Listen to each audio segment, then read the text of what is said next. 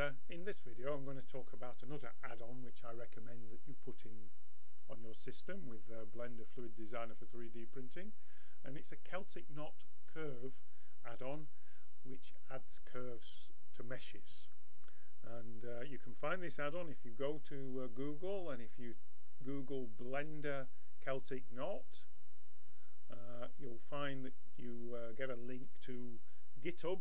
Boris the Brave is the one that you're looking for. It's the Boris the Brave Celtic Knot add-on and you can download that and install it in Blender in the usual way.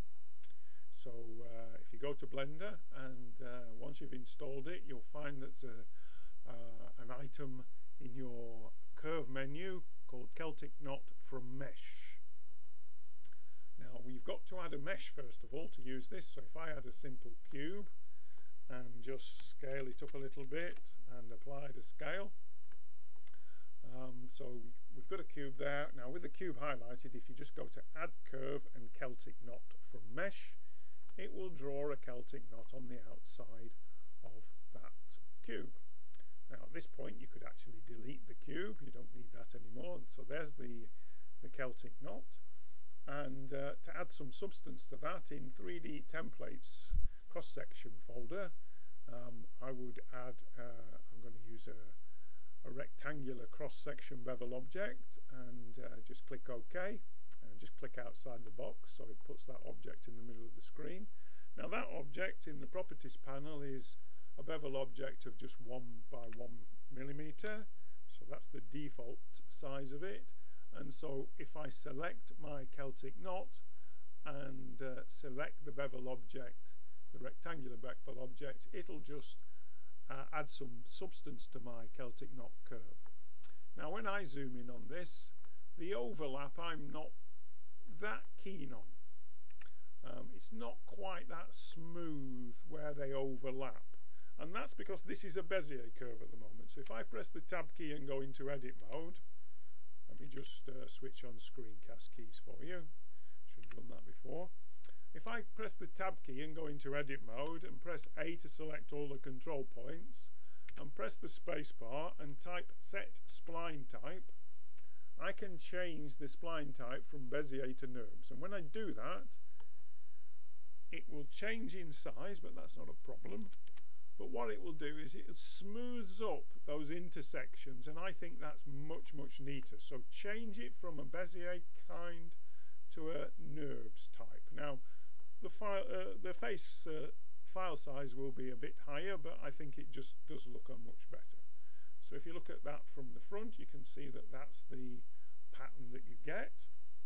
Now if you wanted to change this into for example an earring uh, if uh, if I go into uh, edit mode and uh, highlight all of those control points with A on the keyboard I could scale this in the Y dimension. So stretch it out so it's now like the grid it's about 20 millimeters.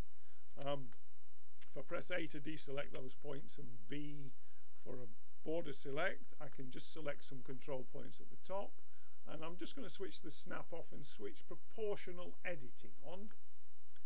And if I do S for scale now um, I can adjust my proportional editing box but what I'm doing is just squeezing it in tight at the top there. Alright so um, when I come out of edit mode there's my object now. Now all I need to do to make that into an earring is if I just view that from the top um, if I go to object library and go to jewelry findings for earrings I tend to use this first one with an internal diameter of one and a half millimeter.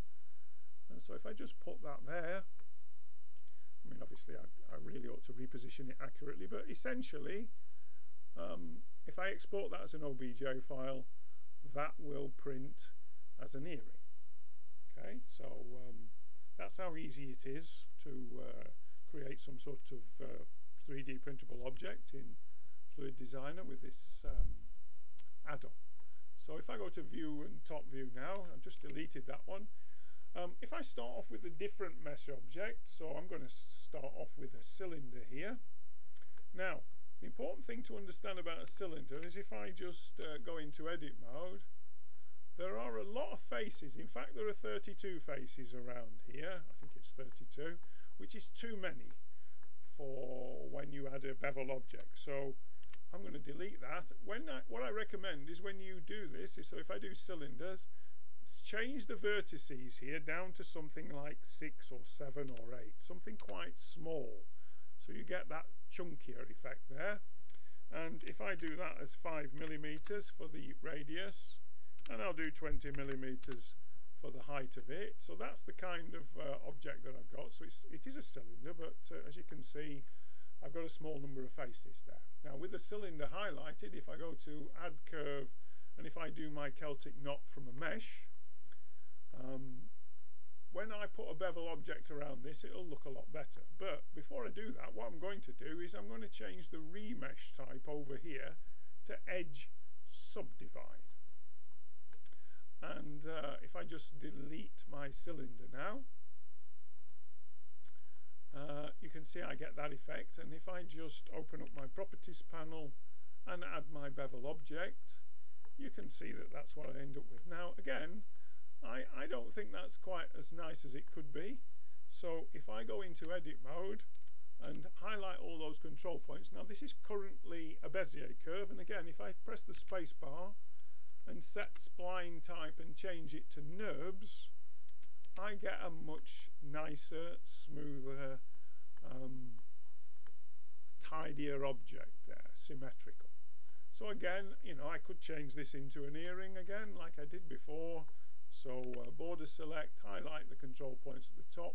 My proportional editing's on, so if I just scale that, I could uh, scale the top down like I did with the other object and um, if I rotate it about the x-axis I think probably minus 90 and then just position that ring more carefully that again would uh, 3D print. Now the nice thing about this is at the bottom there I've got a nice circle so if you've got JewelCraft on your system you could actually add a gem and fit the gem at the bottom there and put some prongs uh, and that could be a say it could be an earring uh, with uh, a gem at the bottom. Alternatively, if you just go into edit mode and highlight all those control points and if you just scale it in the Y direction you could bring this right down and this could now fit on the top of a ring and you could put a round gem in there so if I go to uh, view and top view if I uh, go back to my outliner if I go to my object library if I go to rings, jewellery rings, and if I just scroll down, I'll show you what I mean. Um, so I'm just looking for UK size P plus ring. My system runs a bit slow at loading these graphics. It's only a, an old thing. So I'm just going to uh, select a ring UKP plus, click OK, just click outside the box so that centers it nicely. Now if I just go to um, 3D templates bevel objects, and uh, I want to there's a special bevel object here for rings so I'm going to use a, a rectangular one and click OK and again click outside the box and so what I can do is I've got uh, instead of the, using the default ring size that comes there I can use this bevel object ring cross section. So that will give me a ring there.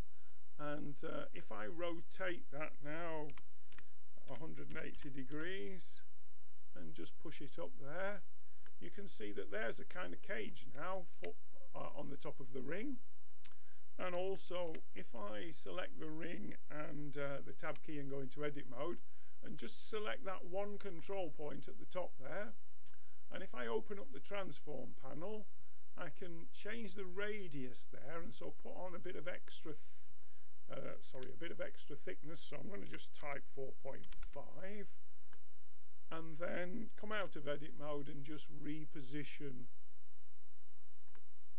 my uh, cage at the top there and it's nice and round there so as I say if you've got JewelCraft you could put a, a gem there depending upon the size of the gem you could resize that um, and, and you've then got a, a 3D printable ring because this is basically uh, these are all curves and you'll have no problem as long as you run it through Netfabb. So that's how you can use that curve add-on which we recommend you put on your system. Thank you.